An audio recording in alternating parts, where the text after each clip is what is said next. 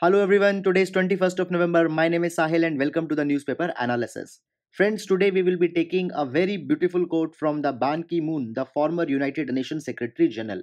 He says, "The world is overarmed and peace is underfunded. And this particular thing is very true given the ever increasing military spending around the world as well as disinterested talks onto the initiatives such as the Comprehensive Convention onto the International Terrorism, no serious attempts to find the solutions for the issues such as the refugee problem, the West Asia crisis, African crisis, and all such kind of things. So, guys, we can utilize this particular quote in our GS paper number 4 as well as into the topics of essays. So, that's it. And now let's take the newspaper analysis. Now guys, first of all, let's take up the overview of the articles that we will be taking up today. Guys, this is the first page of the Hindu newspaper and here we can see that nothing very important with respect to the GS or our UPSC exam has been given. So guys, we will be moving to the next page after that into the regional pages also the news with respect to the covid-19 the social distancing as it is to be carried and all these kind of things are being carried not important. Guys onto the editorial page we can see here that the digital nation has been talked about. So we will be seeing that what all has been taken up here then guys we can see here that the time use survey has been mentioned. So we will see that why the time use survey is important what this all matter is all about. After that guys this article is talking about the rcep then guys below this particular article it is talking about the us the trump's effort to sabotage the transition and all such kind of thing. Not very important into our exam then guys today is saturday so this is the ground zero report and this ground zero report talks about the infiltration of the terrorist into the jammu kashmir the ceasefire violations and such kind of things. Then guys coming on to the next page guys here we can see that the digital health mission is ready for the nationwide rollout.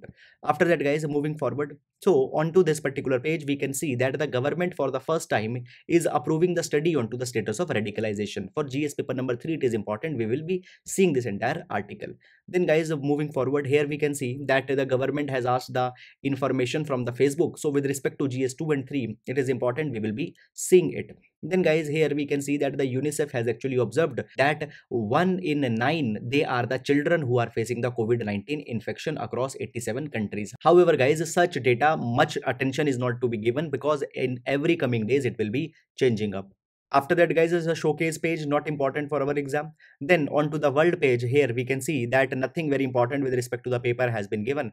And onto the business page actually an important piece of news is there which is talking about the reforms into the banking sector and then we will be seeing them very comprehensively. After that guys there's a sports page. So guys this is all about the today's newspaper overview. And now let's discuss the articles comprehensively. Now guys this particular article it is important for the digital india and digital revolution now, guys, the Prime Minister has made an address into the Bangalore Tech Summit where the Prime Minister had said that India is moving very steadily onto the path of becoming the digital nation.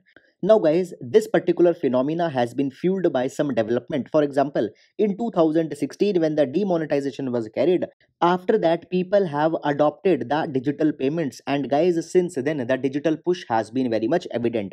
Moreover guys, as recently the lockdown and the pandemic social distancing when it was to be carried, people further adopted the digital solutions, digital payments and all these kind of things. Now guys, presently more than 750 million connections and ever strong fintech sector provides a very clear testimony that India's digital India or digital nation mission is going in a positive direction.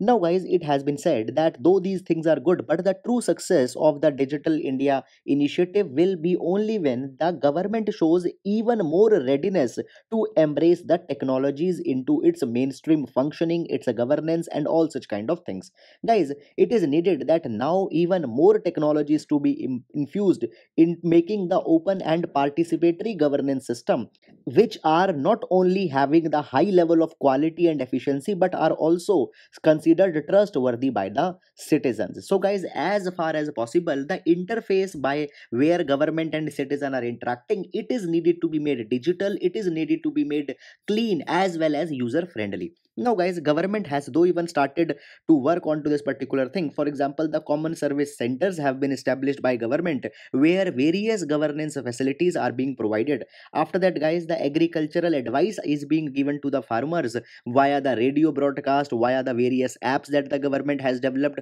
onto the state levels. And then guys the most important is the tele law initiative where the people can take the legal advice from the well qualified lawyers and guys into the tele law the advice is free and up till now more than 4 lakh people have taken the legal advices. Guys not only it is helping in making the governance better rather it is also helping to fulfill the obligation of the government under the article number 39a dpsp now guys though these things are good but even more is needed. For example guys government needs to implement the technology for the road safety because every year more than 1.5 lakh people are dying into the road accidents. So basically here much initiative is there after that guys into the health. Further more technology can be streamlined. Guys though government is doing the good work as the digital health id has been floated by the government which is attached to the ayushman bharat.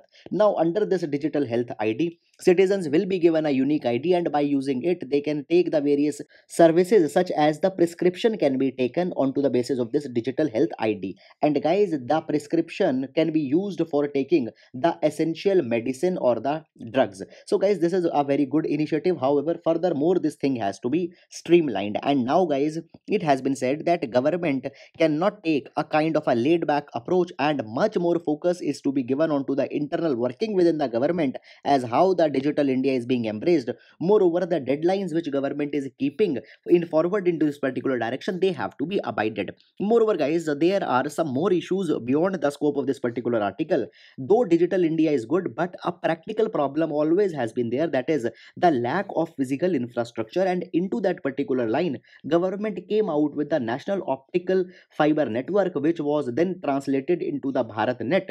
Now guys into the bharatnet the number of villages which have to be covered they have been increased from 2.5 lakh to the 5 lakh. But guys the deadline which is the august 2021 it still looks kind of unfeasible. So onto this particular thing the government needs to focus. Then guys government needs to focus onto the enhancing the digital literacy. Then the cyber security front also needs to be safe safeguarded. So guys these are also some additional challenges which are there into the front of government and government should quite address them into the time. So that is all about this particular article and now we'll be moving to the next article now guys this particular article it is talking about the time use survey which has been conducted and whose report has been published. Now guys first of all the time use survey it has been released by the national statistical office which is under ministry of statistics and program implementation. And guys nso was actually formed by merging two bodies that is the central statistical office as well as nsso so the time use survey that we are talking about has been published by the NSO. Now guys, what is this time use survey? Basically, it calculates the time which is spent by the men as well as women onto various kind of activities. For example, onto the paid work, onto the child care, on volunteering, taking care of the house and all such kind of activities.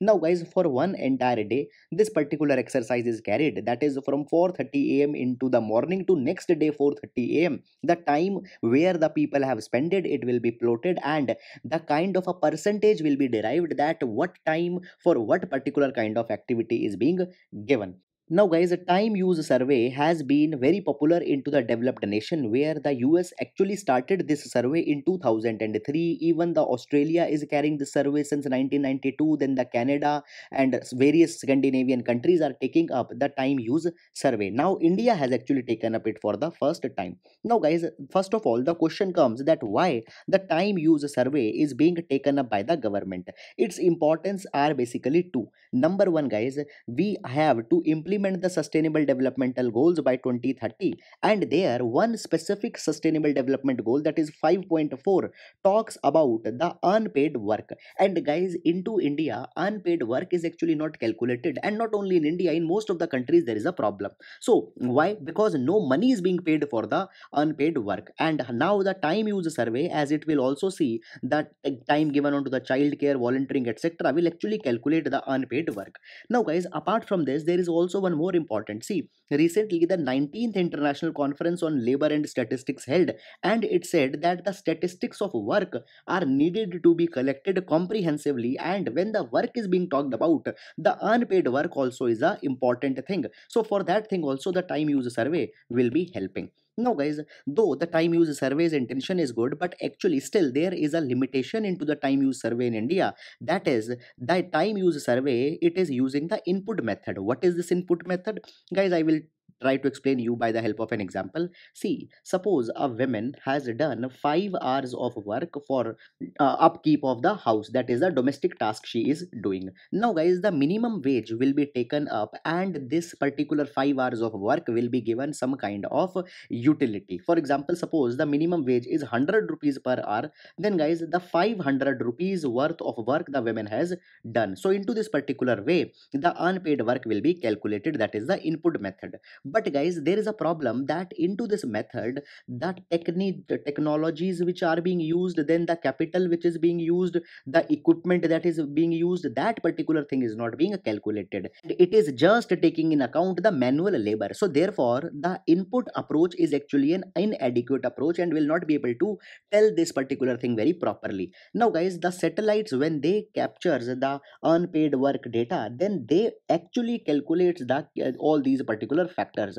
so there is a kind of a scope that the tus can be made more streamlined. Now guys talking about the importance as why this tus becomes so much important. See guys often we take the gdp as the primary uh, kind of a method to estimate the economic well-being of a nation. But the gdp always has a problem that it doesn't takes in account the unpaid labor which is done by the women and thus their contribution is over underestimated. Now guys if we see the new uh, definition of the work given by the ilo some interesting facts will be observed here.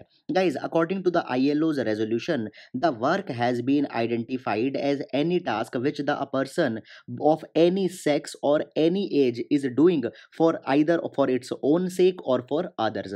Guys work has actually been defined into the five categories. That is the employment where the goods and services services are being produced for the profit or barter. For own use that is production of goods and services by household the unpaid trainee work volunteer work and any other work that is the compulsory work performed without any pay. So guys as all these tasks has been classified as work the unpaid domestic work is now officially the work. So that particular thing has to be estimated and into this particular direction the tus becomes an important thing. So guys finally a kind of a justice approach is also coming where now the women's contributions will also be recognized. So guys into the terms of the gender roles also this is a very important thing. So that's it. And now we'll be moving to the next article now guys this particular article is talking about the rcep however guys the article doesn't contains any much substantial substance and already we had discussed it onto the 16th of november at this particular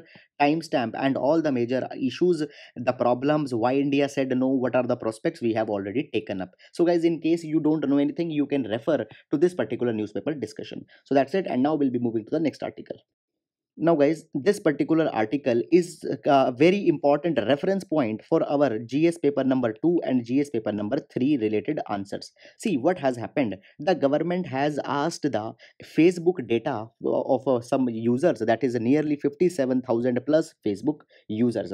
Now guys this particular thing becomes important for two issues. Number one often we say that the cyber terrorism cyber crimes are increasing and into this cyber crimes often the information from the facebook is taken by the cyber crime perpetuators so into this particular direction guys as so many requests are being made by the government it actually shows that how the cyber crimes are ever increasing and how this particular thing is problematic.